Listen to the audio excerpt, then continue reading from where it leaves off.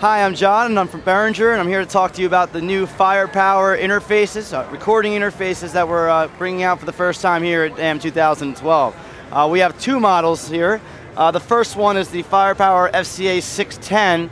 For only 199, you're going to be getting six inputs and 10 outputs at 24-bit 96K.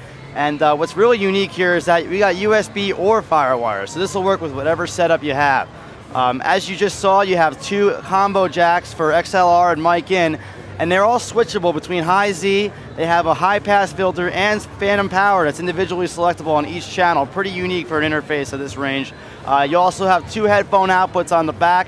You have some metering on the, I'm sorry, the headphone outputs are right here, of course. You also have some metering on the front.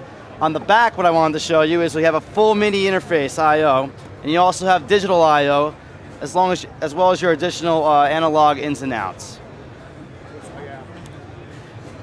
Again, only 199, really killer deal.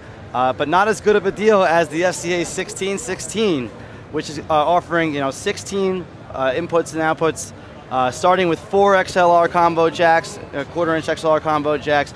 Every one of them has a guitar high Z input, um, switchable phantom power, and a high pass filter. Uh, again, you have two headphone outputs on the front, direct monitoring control and leveling on the front. On the back panel, you have the rest of your uh, analog connectivity here to the right, and all coming as balanced line ins, of course. You also have digital connectivity with SPDIF as well as uh, ADAT in, so that's how you get your additional uh, eight channels of audio in and out. And again, you have full connectivity with MIDI and again, it's USB or FireWire, so you're all set no matter uh, you know what interface you choose to use. I also want to mention to you guys, because it's very unique, you have uh, eight inserts on all your analog inputs. So, you know, it's really always some people, uh, it's a great idea to do some compression on your way into the DAW, uh, or if you have some great outboard gear lying around you haven't been able to use, it's a perfect interface for you. And now that's coming to you at a price of $249.99.